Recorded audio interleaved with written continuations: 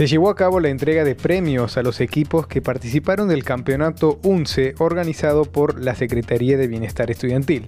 Esta experiencia de esparcimiento, diversión y compañerismo convocó a estudiantes de todas las unidades académicas, quienes participaron de una liga universitaria de fútbol en el Polideportivo de la UNCE. Las autoridades participantes de este encuentro invitaron a los estudiantes a seguir por el camino del deporte y la recreación dentro de su vida universitaria.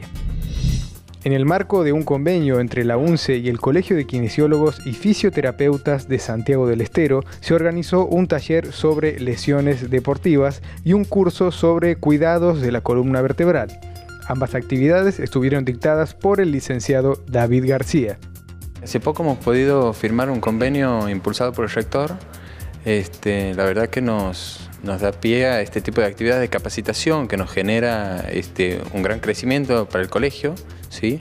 Y logramos este, contactar y traer al licenciado García, ¿sí?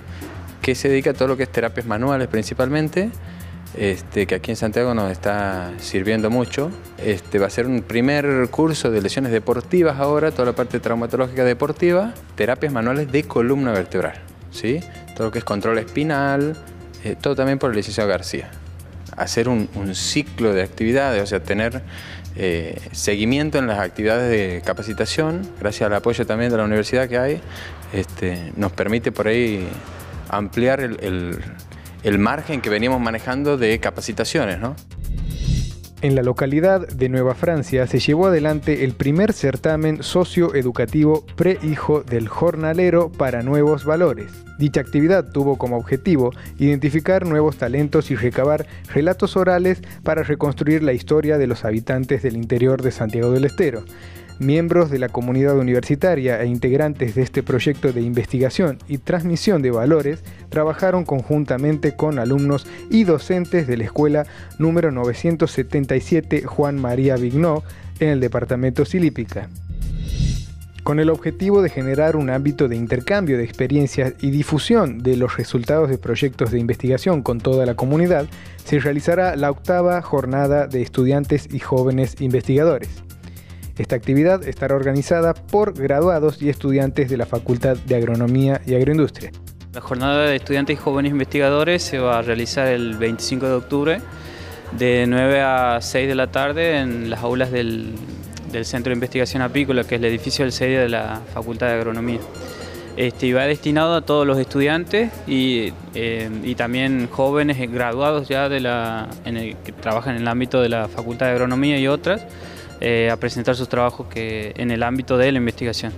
Eh, para nosotros como estudiantes es muy importante porque muchos trabajamos en investigación o hemos trabajado y eh, como comunidad educativa es, importante para exponer qué es lo que estamos haciendo, que muchas veces es desconocido por nuestros compañeros y esa es la importancia y para los jóvenes graduados que están con becas doctorales o de posgrado es también muy importante para saber qué es lo que se está haciendo a nivel facultad y bueno, ahora este año con la particularidad de las otras facultades también.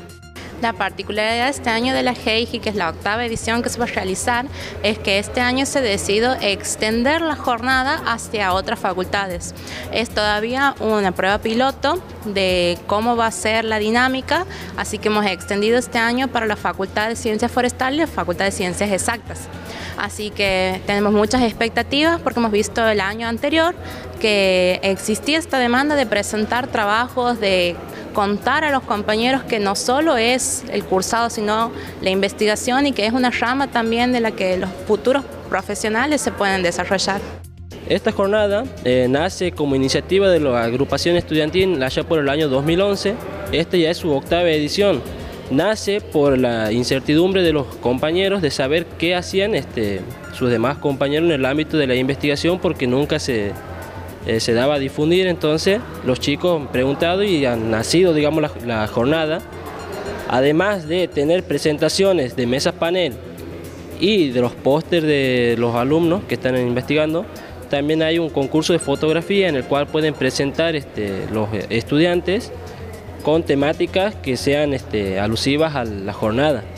hay importantes premios y bueno, eh, principalmente el concurso es anónimo, se presentan las imágenes e impresas y los chicos cuando vienen a participar en la jornada votan cuál es la preferida y a la final de la jornada se da el premio a los ganadores.